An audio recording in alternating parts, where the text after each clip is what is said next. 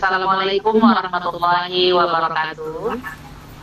Uh, baik Bapak Ibu, pertama dan utama sekali adalah kita bersyukur kepada Allah Subhanahu wa taala karena pada siang ini Alhamdulillah kita diberikan kesempatan untuk bisa berkumpul kembali dalam dunia maya dalam kegiatan Bikon kita.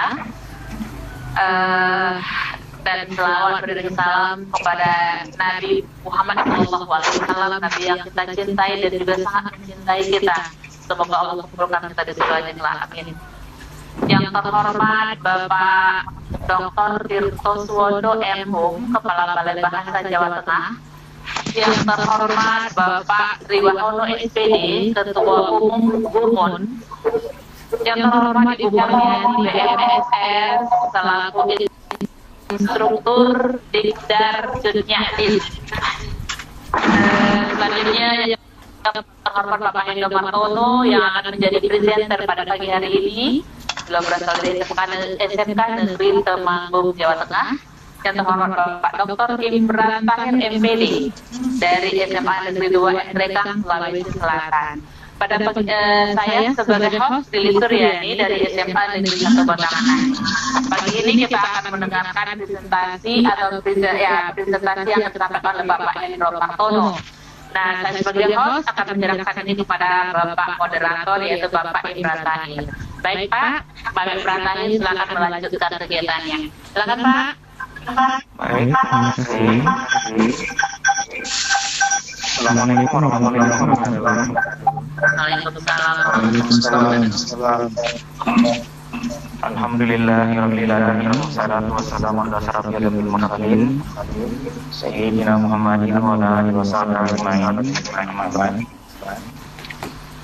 Bapak Ibu yang baik yang bahagia, bahagia. The recording started. Started. Baik, mari kita membuka cara kami dengan mengucap Bismillahirrahmanirrahim. Yang terhormat, yang terhormat Kepala Balai Bahasa Jawa Dr. Tirto Sundo Enhum Ketua Umum Sri Warjono SPD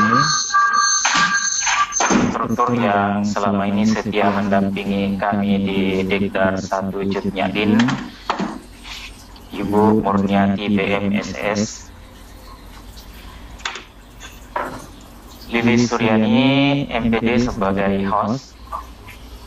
Baik Bapak Ibu, saya sebagai moderator menyampaikan tata tertib yang harus kita lalui bersama selama mengikuti video conference ini. ini. Demi menjaga kelancaran berlangsungnya Vicon maka seluruh peserta dimohon menonaktifkan mikrofon masing-masing. Bila ada pertanyaan, dipersilakan mengajukan pertanyaan setelah diberi kesempatan dengan mengaktifkan mikrofon dan menonaktifkannya kembali setelah bertanya atau menuliskan pertanyaannya pada fitur chat. Sebelum materi menyampaikan materinya yang berjudul Jelajah Sejarah Mataram Kuno, pada baiknya saya sebagai moderator memperkenalkan pemateri melalui guru hukum kita beliau. Nama lengkap Dr. Hendro Martono MPD, Dr. Andus Hendro Martono MPD lahir di Sragen, Jawa Tengah 29 Maret 1964 menyelesaikan pendidikan S1 Sejarah di UNS 1986 sebelum mengajar di SMK Negeri 1 Temanggung. Beliau menjadi guru di SMK Negeri 2 Temanggung. Kemudian ke SMA Negeri 2 Temanggung. Kegiatan dalam forum ilmiah yang pernah beliau jalani cukup banyak.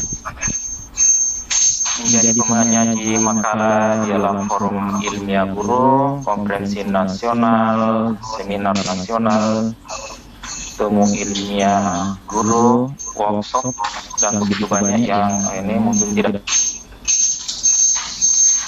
aktivitas ilmiah lainnya yang beliau pernah torehkan menjadi penulis puluhan artikel pendidikan yang dimuat pada beberapa media massa, koran sore Wawasan Semarang, koran koran sore. Merdeka, kemudian Jawa Post,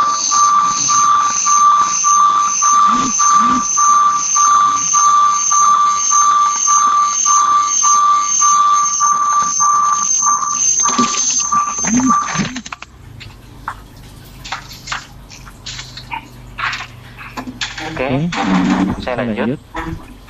Karangan yang uh, ini sudah pernah dibuat dalam kumpulan buku karangan yang diterbitkan oleh Dirjen Mendikbudrismen antara lain pertarungan klasik dua, dua ideologi Indonesia dalam simbolisme napis mitos dalam tradisi pemimpin dan uh, masih banyak yang lainnya.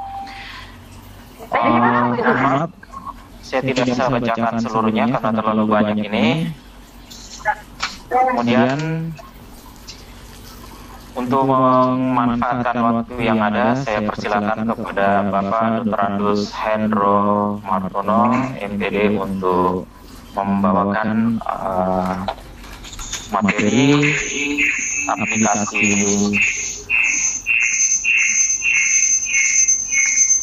media pembelajaran menggunakan SAT yang berjudul Belajar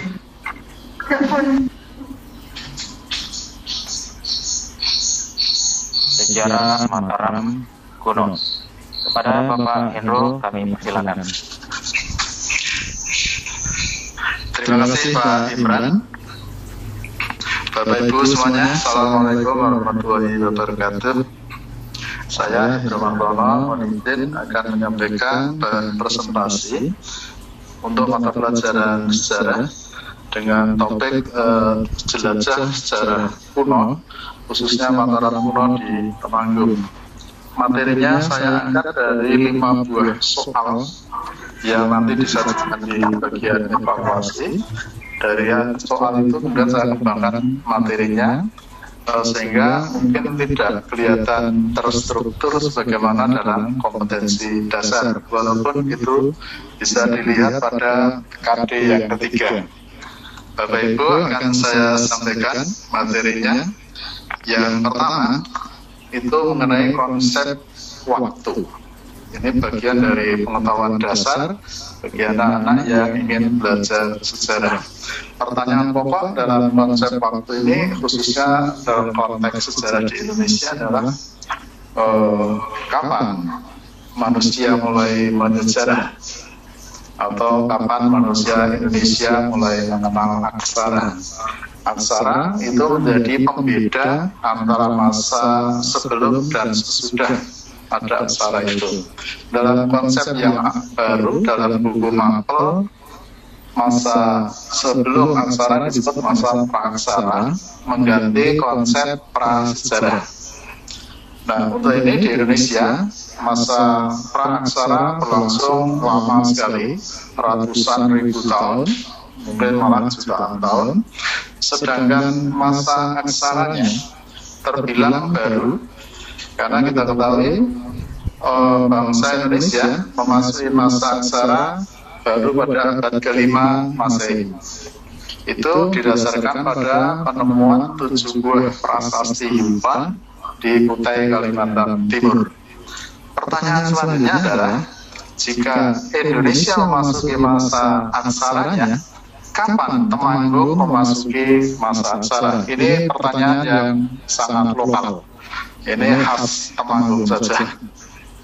Uh, data terbaru penemuan prasasti tahun 2017 kemarin uh, sudah dibaca oleh seorang epigraf dari Temanggung juga. Uh, diketahui bahwa prasasti yang terakhir ditemukan itu justru berusia paling tua. Bertarikh Jumat Pon tanggal 13 April tahun 787 Masehi. Ini adalah data mutakhir uh, sejarah Mataram kuno yang barangkali pengetahuan ini belum tersebar luas. Materi berikutnya yaitu data prasasti di Temanggung. Bapak Ibu, data yang saya telusuri baik di Museum Nasional Jakarta, di Balai Arkeologi Jogja, di Perpustakaan UGM, Museum Warsito Semarang, itu saya simpulkan bahwa di Temanggung saja pernah ditemukan sekitar 26 prasasti data yang sangat berlimpah menurut saya. Dalam tampil di layar terlihat ada lima buah prasasti yang saya tampilkan. Paling kiri adalah prasasti Sri Ranapati. Inilah prasasti tertua yang baru ditemukan tahun 2017 kemarin. Prasasti yang kedua, prasasti Munduan. Prasasti Munduan ini adalah uh, prasasti yang memuat tentang peresmian sebuah tanah padang rumput yang dipakai untuk peternakan. diresmikan oleh seorang rangkai yang nama rangkai itu pertama kali muncul dalam data prasasti. uh, berawal eh, berangkat tahun? 807 Masehi. Prasastinya sekarang disimpan di jurusan sejarah Universitas Negeri Semarang. Prasasti yang ketiga adalah prasasti Sucen. Di situ disebut Sucen 123 karena prasastinya memang ada tiga.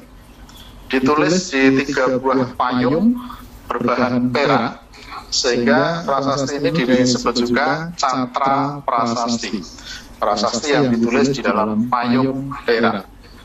Prasastinya sekarang di Museum Nasional Jakarta dan saya mendapatkan fotonya lewat email dari seorang petugas di Museum Nasional Jakarta. Isi yang menarik dari prasasti Sucen ini adalah uh, mengenai fenomena alam terjadinya gerhana bulan pada tanggal 19 Maret tahun 843 Masehi Senin dini hari proses terjadinya gerhana Senin dini hari dan prosesnya selama lima jam sampai Senin pagi. Silakan baca artikelnya di web Museum Nasional Jakarta. Prasasti yang keempat adalah prasasti Gondol Suli. Di situ disebut Suli 1 dan 2. Yang tampak dalam foto adalah Gondosuli II dinamakan prasasti Sang Yang Bintang. Prasasti karena menyebut bangunan suci yang diberi nama Sang Yang Bintang. Yang istimewa adalah prasasti Gondosuli ini ditulis dalam huruf Jawa kuno, tetapi berbahasa Melayu kuno. Bapak Ibu menjumpai kata ayahanda, ibunda, adinda, itu ada dalam uh, prasasti Rasuli ini. Prasasti yang kelima disebut prasasti Truti Tepus. Prasasti ini timbul.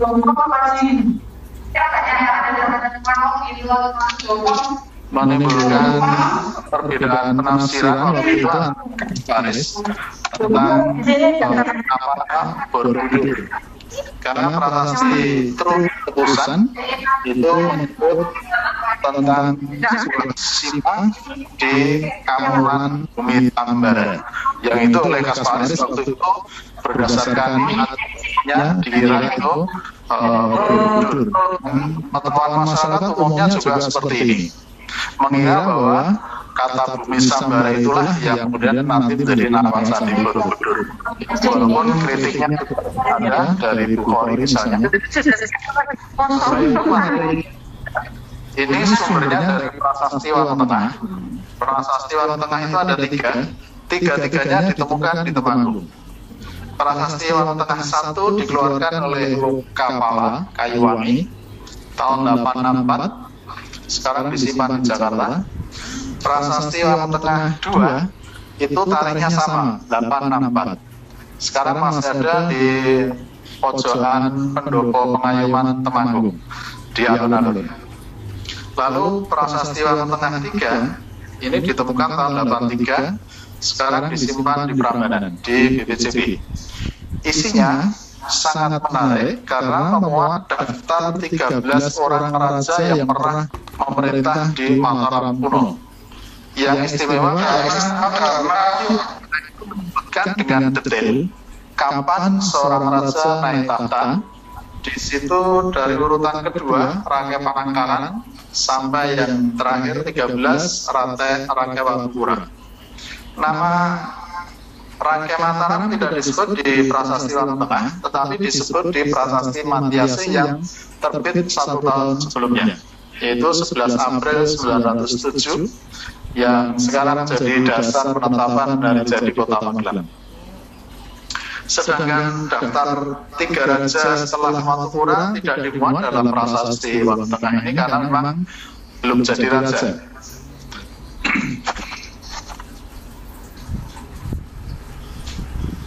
Bapak Ibu yang nanti juga menarik dikemukakan dalam daftar raja ini karena daftarnya berbeda dengan uh, nama-nama raja yang disebut di prasasti Matiase. Di Matiase semuanya diberi gelar Sri Maharaja. Sedangkan di prasasti Wayang Tengah ini hanya disebut kerangkaiannya. Rangkai Mataram, Rangkai Pamangkalan, dan seterusnya. Ini nanti bisa didiskusikan. Materi berikutnya itu mengenai daftar candi. Beberapa contoh candi yang diberitakan berada di Temanggung. Menurut informasinya, dalam disertasi yang dibuat oleh Yvonne Miriam de Groot tahun 2009, di Temanggung itu ada 23 reruntuhan candi. Yang masih tegak tinggal satu di tengah-tengah itu, yang namanya Candi Pringamus. Di sebelah kirinya Candi Perak. Itu terlihat dalam sebuah foto tahun 1937. Candinya dicengkeram uh, sebatang pohon beringin yang besar. Lalu pohon beringinnya tumbang, candinya ikut rubuh lalu hilang bentuknya dan reruntuhan Candi Teror itu sekarang uh, dikumpulkan di halaman Candi Pringapus. Di paling kiri Candi Gandasuli, ini hanya sebuah satu potret saja. Kompleknya cukup luas, tetapi material candi tidak memungkinkan untuk dibuka kembali karena uh, sudah banyak yang hilang. Di situs Candi Gondosuli itulah ditemukan prasasti Gondosuli II yang kerupanya masih in situ. Lalu yang di sebelah kanan Candingan Disari, dugaan saya Candingan Disari inilah yang disebut dalam prasasti Gondosuli itu sebagai Sang Hyang Mitang. Jarak antara Candingan Disari dan Gondosuli itu tidak sampai satu kilo. Dulu kemungkinan dari komplek Candi Gondosuli langsung kelihatan uh, Candingan Disari ini. Yang terakhir Candi Liangan yang sedang populer, Bapak Ibu, ini adalah situs yang paling istimewa karena apa? Selama ini kita hanya menemukan candi dan lingkungan sekitarnya saja. Ya, begitu ditemukan candi sudah selesai. Candi dibuka berdiri candi, tidak tahu konteksnya seperti apa. Tetapi candi liangan ini adalah sebuah kompleks yang menurut simpulan sementara dari Balai Arkeologi Jogja, situs liangan ini merupakan suatu kompleks pemukiman, kompleks peribadatan, dan kompleks pertanian.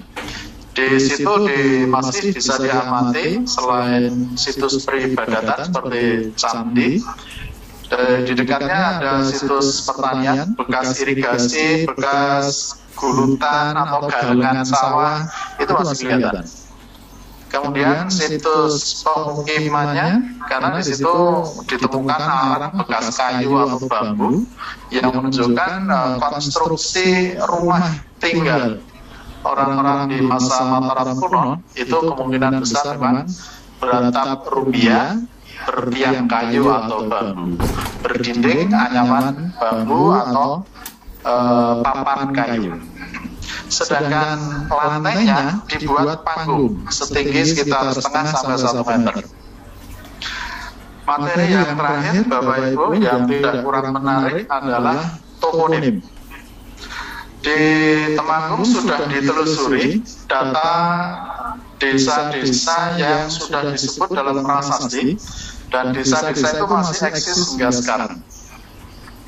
Ada yang mengalami perubahan dari desa yang pertama Haji Huma, sekarang menjadi desa Jumo dan kecamatan Jumo. Yang kedua desa Kandangan, sekarang menjadi nama desa Kandangan, juga ada nama kecamatan Kandangan. Lalu desa Kedu, itu ada dusun Kedu di masa itu menjadi desa Kedu yang sekarang dan menjadi kecamatan Kedu yang sekarang. Di sini tidak disebut Karisidenan Kedu karena itu uh, pemerintahan Belanda. Yang keempat nama Pikatan sekarang menjadi nama dusun. Dulu merupakan wilayah watak yang membawai beberapa desa. Desa Dusun Mikatan sekarang berada di Desa Muda di Kecamatan Temanggung Kota. Dari titik 0 km jaraknya hanya sekitar 3 km. Yang kelima nama Desa Petir. Sekarang menjadi Desa Petir di Kecamatan Ngantijo. Nomor 6 Ditang sekarang menjadi dusun berada di desa Nantirejo jaraknya tidak sampai 2 kilo dengan Pikatan karena berbatasan langsung. berada di wilayah kecamatan kota. Yang ketujuh Trihaji sekarang menjadi desa Traji berada di wilayah kecamatan Parahan yang kedelapan desa Truitepusan Nama desanya sekarang Tebusen, berada di Kecamatan Kaloran. Lalu Desa Wano Tengah atau Wanua Tengah, desa yang sawahnya disebut tiga kali dalam prasasti. Sekarang menjadi Desa Wano Tengah, berada di Kecamatan Parahan. Dan yang terakhir, Desa Kuno Unut, sekarang menjadi Dusun, letaknya paling atas. Bapak Ibu yang pernah ke Temanggung, pernah mengunjungi Museum Meteor, itu naik lagi akan sampai di Dusun Bunut. Puncak Gunung Sumbing sudah dekat sekali, berada di Desa Wonotirto, Kecamatan Bulu. Itu materi yang diangkat dari lima buah soal yang kebetulan saya temukan dalam arsip Bapak Ibu. Ini sekadar untuk mengenalkan anak-anak uh, saya dengan sejarah lokal Temanggung. Sekarang kita masuki evaluasi. Soal-soal inilah yang tadi saya kembangkan materinya dalam paparan. Pertanyaan pertama, Bapak Ibu yang menyimak pengen mencoba menjawab, kapan Temanggung memasuki zaman sejarahnya? Abad berapa? Kita coba tes jawab A nol. Jawab oh maaf, jempol saya terlalu besar. Langsung ke soal kedua. Uh, prasasti dari Temanggung, ya. Di situ ada TTT semua, empat destruktornya. Saya pakai huruf awal T. Jawabannya adalah E. Di situ prasasti Temanggung. Prasastinya disimpan di Museum Probolinggo Semarang. Kita coba. Benar. Kita pindah ke soal tiga. Raja Mataram kuno yang diperkirakan berasal dari Temanggung. Bapak Ibu, masa orang-orang Temanggung sendiri masih banyak yang salah mengira mengatakan Raja Mataram kuno dari Temanggung itu orang kedekatan, saja. Padahal sebenarnya Raja Kedekatan itu bukan nama orang. Raja Kedekatan itu nama jabatan. Ikatan itu menunjukkan tempat, rangka itu jabatannya. Rangka ikatan berarti seorang rangka yang tanah luhurnya di ikatan. yang itu membawahi beberapa desa. Lalu namanya siapa? Di belakang itulah nama orangnya. Barulah nanti kita tahu bahwa sebenarnya yang dimaksud Rangga Pikatan yang menjadi raja di Temanggung, eh, di Mataram kuno waktu itu berasal dari Temanggung adalah Rangga Pikatan, dia Saladu. Masuk soal yang keempat, salah satu struktur Bapak Ibu yang dimaksud candi dalam konteks cagar budaya itu dinamakan struktur ya. Sebuah susunan batu yang tidak berdinding tidak beratap. itu disebut struktur yang masih tegak berdiri di Temanggung adalah ini yang kelihatan tadi di tengah yaitu candi oh mereka bos. yang terakhir desa kuno yang ada hingga sekarang. berawalan K semua. Jawabannya adalah Desa Gerdu. Skor terakhir 80. Demikian Bapak Ibu, saksian dari saya. Mohon maaf atas kekurangannya. Saya kembalikan kesempatan kepada moderator. Silakan Pak Imran. Terima kasih presentasi yang disampaikan oleh Pak Hendro Martono sangat luar biasa. Uh, kesempatan kali ini kita manfaatkan untuk sesi tanya jawab. Saya lihat di chat belum ada uh, pertanyaan. Mungkin ada Bapak Ibu yang mau bertanya secara langsung. Uh, kesempatan ini kami persilakan.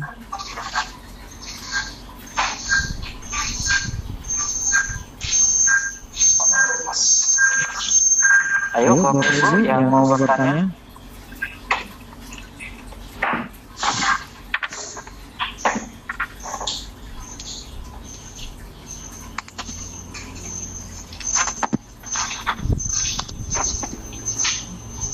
Uh, ini barangkali Pak Heru mungkin karena penjelasan yang sangat akurat, uh, lengkap dengan datanya semua, lengkap dengan uh, prasastinya, petanya sehingga menjadi sangat jelas sehingga uh, belum ada yang bertanya. Ayo Bapak Ibu yang mau bertanya.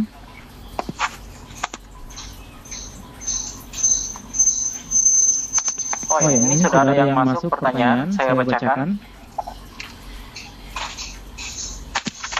Assalamualaikum warahmatullahi wabarakatuh. Izin bertanya, apa ada kaitan hubungan sejarah antara nama kerajaan Mataram dengan kota Mataram yang ada di Lombok? Jadi, saya ulangi, apa ada kaitan hubungan uh, sejarah antara nama kerajaan Mataram dengan kota Mataram yang ada di Lombok? Ya, silakan Pak Hendro. Terima kasih Pak Imran. Kalau Mataram kuno kemungkinan ya ya Mataram kuno dan kota Mataram yang sekarang kita tahu menjadi apa uh, basis komunitas Muslim ya. Kota Mataram kan disebut kota Ibu Masjid. Itu mungkin lebih dekat hubungannya dengan Mataram Islam zaman Panembahan Senopati. Kalau dengan Mataram kuno kayaknya enggak. Mataram kuno yang Hindu itu nanti bergeser ke timur kembali ke Mataram Majapahit dan bergeser ke barat kembali di Jawa Tengah. Barulah nanti ketika muncul Mataram Islam sesudah Demak dan Pajan, nah, itu kemudian nanti ada hubungan dengan Mataram di Lombok. Iya, Pak Imran. Oke, saya kira penjelasannya cukup jelas. Silakan Bapak Ibu yang mau bertanya. Masih ada yang mau bertanya? Kalau mau bertanya secara langsung silakan di on-kan mic-nya kemudian bertanya.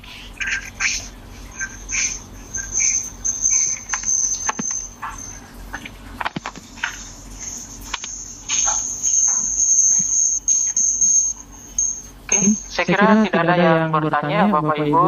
Uh, demikian presentasi yang dibawakan oleh Bapak Dr. Andus Hendro Martono MPD dan saya kira jelas apa yang dipresentasikan mudah-mudahan apa yang dipresentasikan ini uh, dapat menjadi pengetahuan tambahan atau penyegaran bagi kita tentang sejarah Mataram kuno. Terima kasih, saya kembalikan ke moderator ke host Ibu Lilin Suryani. Baik, terima kasih Pak. Uh, Bapak Ibu sekalian, Alhamdulillah pada hari ini. Mengucapkan terima kasih kepada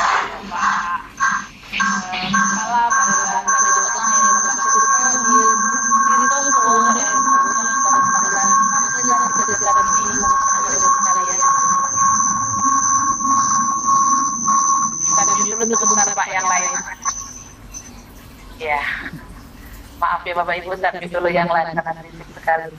Baik, jadi terima kasih kepada Bapak Tirto, terima kasih juga kepada Bapak Dewakono, selaku Ketua Umum Gunung, dan terima kasih yang sedalam-dalamnya juga kepada Bu Murniati yang sudah memenuhi kita dengan sangat selama ini dengan sangat sabarnya, ya, begitu beragam uh, pesertanya dan Bu Murniati sudah membimbing kita dengan sangat sabar.